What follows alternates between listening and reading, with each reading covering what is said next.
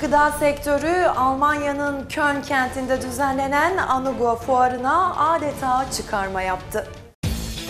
Almanya Köln'de düzenlenen dünyanın en önemli gıda fuarlarından Anuga'da 270 Türk firması ürün kalitesi ve çeşitliliğiyle ağızları tatlandırdı. Fuarda Türk firmalarının standları büyük bir ilgi gördü. Bayağı e, firmalarda ciddi bir hareketlilik var. E, ziyaretçi açısından olsun, e, alışveriş açısından olsun bir e, canlılık e, gözlemliyor. Buradaki firmalarımız güzel bağlantılar yaparak, e, iyi işler yaparak e, ülkemize geri dönerler diye temenni ediyoruz. İstikrar çok önemli.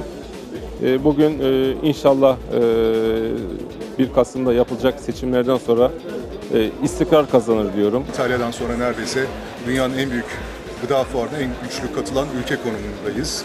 Firmalarımız benim gördüğüm kadarıyla, konuştuğumuz kadarıyla kendine güveniyorlar. Buradaki potansiyellerine güveniyorlar. Birçoğunun çok ciddi Avrupa'ya ihracatları e, mevcut. Burada Türk ticaretinde bizim gıda sektörünün ne kadar güçlü olduğunu bir kere daha görmenin de gururunu yaşadık firmalarımız gezerken. Fuarda dikkat çeken firmalardan biri de Türk gıda sektörünün Avrupa'daki gururu Bagdat oldu.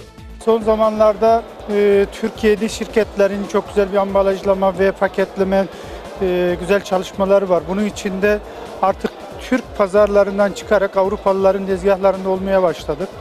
Bu bizim için çok önemli. Türk ürünlerini Türk marketlerinin dışında Avrupalı mağazaları artık vazgeçilmez bir e, rafında olmak istiyoruz. Öyle de şu an için bir Bagdat olarak da yaklaşık 9000 e, noktada varız. Türk şirketleri birbirine rekabet yaparak kendilerini bitirdiler. E, mümkünse bundan sonra vizyonel olarak dünya pazarında takip ederek çalışmalar lazım. Arzumuz o.